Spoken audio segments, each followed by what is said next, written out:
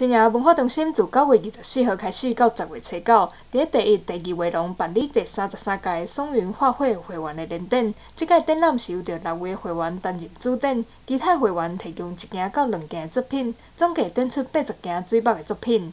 我们这一次展出的作品里面呢，有很多都是写生的，但是也有一部分呢是自己照镜的。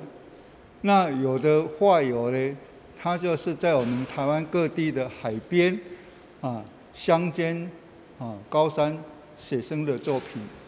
主展的会员之一的郭龙贤表示，宋明画会会员来自各地，有老师标的彩绘书等等。早期作品受到蔡茂松老师的影响，但是经过多年来创作，也有老师的鼓励，会员已经渐渐发展出家己的风格。我们大滩市大部分的画会呢。都是总合性的。那我们松画会呢，最大的特别就是纯粹水墨画家来组成的。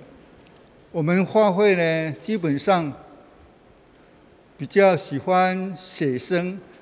我们指导教授蔡茂松教授呢，他是希望我们能够啊，发展出台湾水墨画的特色。即届展览以着木有新生为主题，以水墨字画方式来表现现代生活，让作品看起来活泼，又有文静的美感。欢迎大家多多前往参观，感受台湾风格水墨的作品。南天新闻王玉德新亚采访报道。